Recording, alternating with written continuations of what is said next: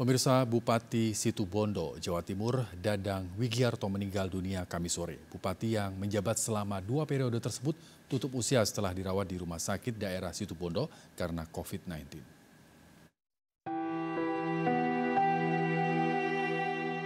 Suasana duka menyelimuti keluarga besar Bupati Situbondo, Jawa Timur, Dadang Wigiarto. Setelah dirawat intensif selama tiga hari di Rumah Sakit Abdul Rahim akibat COVID-19, Bupati yang menjabat selama dua periode tersebut meninggal dunia hari Kamis. Catatan medis menyebutkan almarhum memiliki riwayat penyakit penyerta, yakni hipertensi. Kita lakukan karena apa? Eh, san, oksigen dalam darahnya itu sudah turun pak di atas 80, di bawah 80.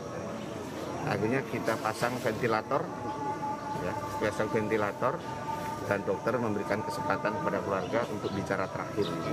Sudah seperti itu loh pak dokter itu tadi. Nah, karena ketika dipasang ventilator itu diistirahatkan pak.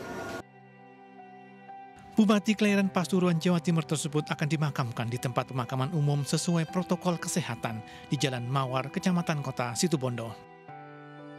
Sebelum dikebumikan, jenazah disolatkan di halaman pendopo Kabupaten Situbondo.